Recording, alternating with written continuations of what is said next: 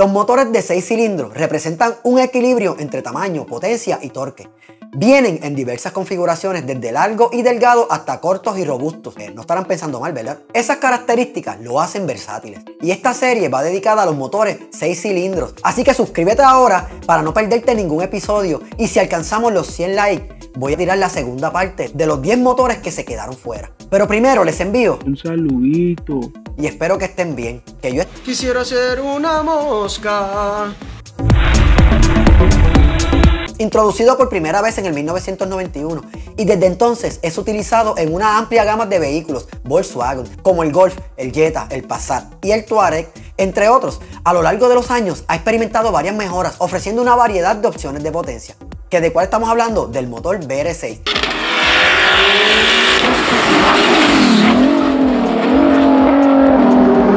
es único, ya que a pesar de ser un V6, cuenta con cilindros dispuestos en un solo bloque. Esto se logra con solo 15 grados entre las bancadas de cilindros, lo que permite que el motor sea más corto que un motor en línea de 6 cilindros, pero menos ancho que un V6 tradicional. Esta configuración compacta facilita su instalación en vehículos con espacio limitado bajo el capó, como automóviles de tracción delantera o con un frente pequeño. El BR6 es conocido por su suavidad y capacidad de respuesta, ofreciendo una potencia lineal y un sonido distintivo. Su cilindrada puede variar entre 2 3.5 y 3.6 litros y de fábrica puede alcanzar hasta los 300 potros en modelos de alto rendimiento como el Golf R32. El motor V6 diseñado por Giuseppe Busso para Alfa Romeo en la década del 1970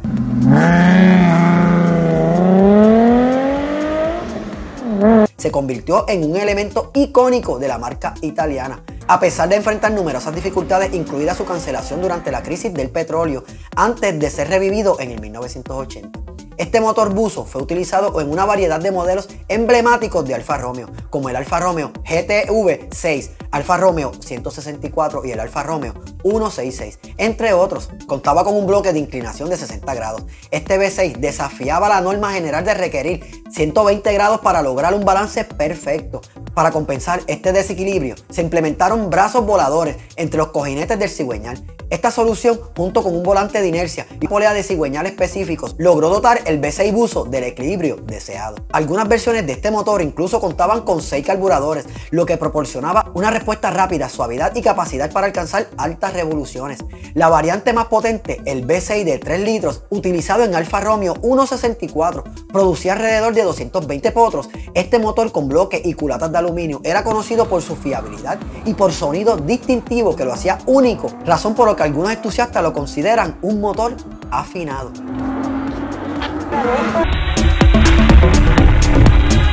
Cuando Honda decide destacarse y salir de su zona de confort, realmente brilla.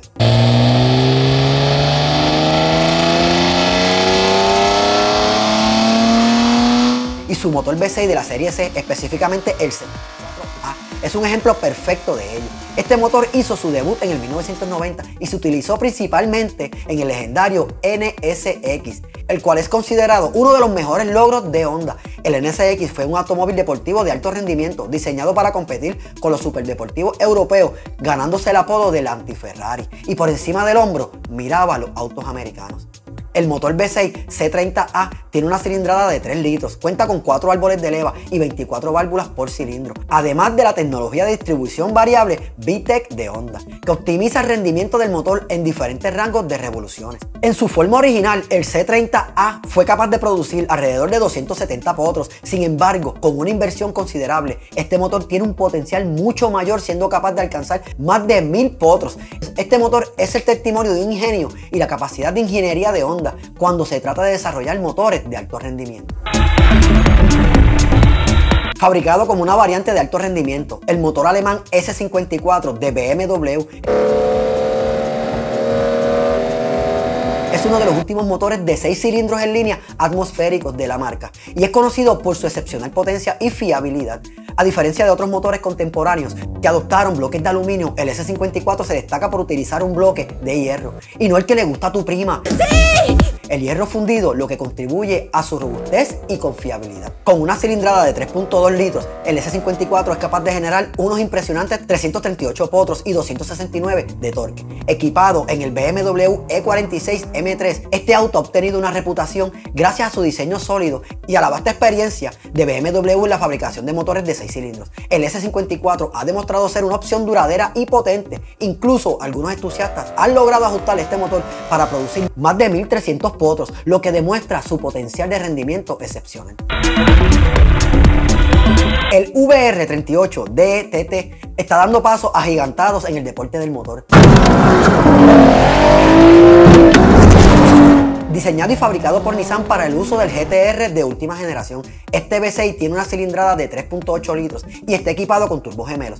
En su forma de fábrica produce hasta más de 700 potros, dependiendo de la generación y el ajuste específico del modelo. Además de su potencia, es conocido por su capacidad para manejar modificaciones extremas. Con ajustes y piezas de alto rendimiento, los propietarios han logrado superar los cuatro dígitos. Este motor es hecho a mano, así como tú cuidas el ganso. Ya, Fifi, abajo. También es ensamblado por los Takumi o maestros artesanos de Nissan.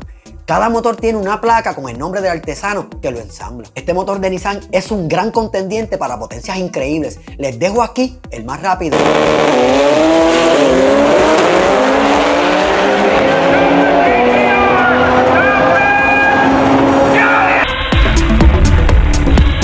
El motor barra se introdujo por primera vez en el 2002 y se utilizó en una variedad de vehículos Ford fabricados en Australia, como el Falcon y el Ford Territory. Está disponible en varias configuraciones, incluidas versiones atmosféricas y turbo. El barra turbo o XR6 Sprint Turbo es el más destacado. Este motor tiene una cilindrada de aproximadamente 4 litros y en su forma de fábrica puede generar alrededor de 436 potros y un torque de 425, teniendo en cuenta que estas cifras pueden variar según el año del modelo y las especificaciones del motor. Muñecos, este motor tiene la capacidad para manejar modificaciones extremas. El motor ha logrado llegar a los 2000 potros y se ha utilizado para arrancones, piques o dragueo. Lamentablemente, este motor es difícil de conseguir, ya que solo se consigue en Australia y fue descontinuado en el 2013.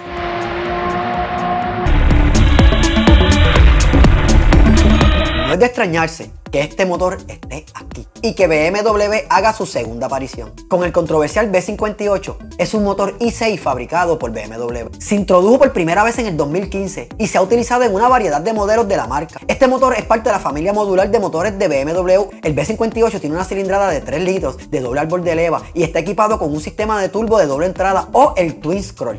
Produce una potencia que varía según la aplicación y la configuración, pero puede generar alrededor de 382 potros y un torque de 369. El motor B58 es de aluminio y hace que su construcción sea ligera y compacta, que permite una distribución de peso equilibrada. Para mayor durabilidad y longevidad, el conjunto giratorio tiene un cigüeñal de acero forjado y bielas forjadas. Y además está equipado con tecnología avanzada en inyección directa de combustible, junto con la distribución variable de árbol de levas para maximizar la eficiencia del combustible y reducir las emisiones. Este motor está demostrando tener una gran resistencia a la modificación, logrando aguantar hasta ahora más de mil potros, y esto siendo modesto. Y olvidaba decir que es el controversial motor del Toyota BMW Supra MK5. Y muñecos, escucha lo que les tengo que decir. Toyota confía en ese motor porque ustedes no. Y si quieres saber las diferencias del 2JZ y este motor, les dejo el video al final.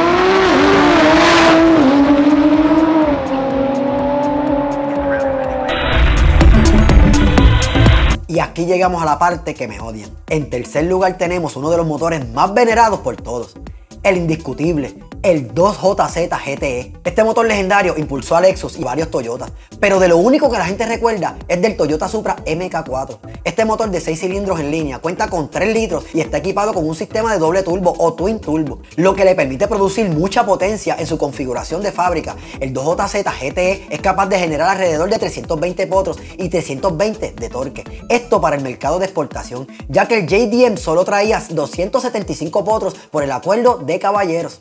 Lo que hace al 2JZ tan venerado por los entusiastas es su capacidad para manejar modificaciones extremas y alcanzar cifras de potencia aún más elevadas. Con modificaciones relativamente sencillas, este motor puede producir fácilmente más de 500 potros con solo cambiar boberías. Pueden aguantar hasta más de 700 potros con componentes de fábrica, pero con buen presupuesto puede llegar hasta más de 2000 potros Así que ve buscando la Sugar Mommy.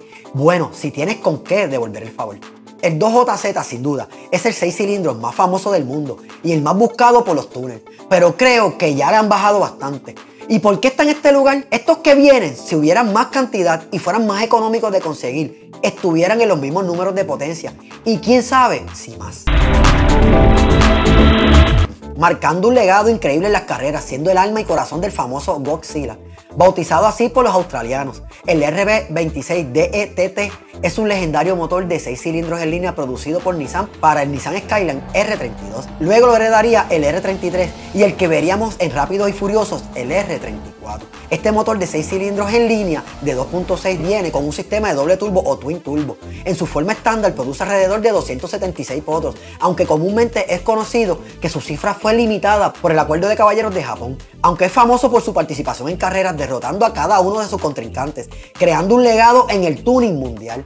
Pero fue su durabilidad, capacidad de modificación y llegar a grandes niveles de potencia con sus componentes de fabriquín.